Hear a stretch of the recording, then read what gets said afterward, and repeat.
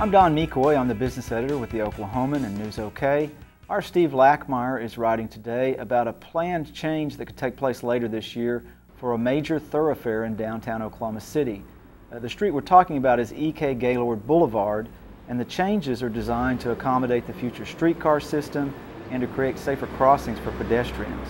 When E.K. Gaylord Boulevard was built in the 70s, we were looking at a very different kind of downtown. Bricktown was fading, and it was just a way to move traffic north and south through the downtown area.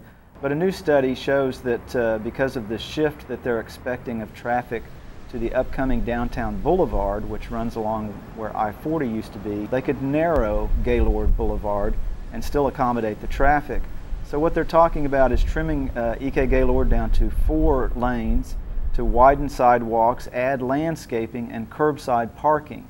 City engineer Eric Wenger said Tuesday we're likely to start later this year, and the changes to Gaylord between Sheridan and Northwest 4th are contingent on contractors' bids coming in within budget.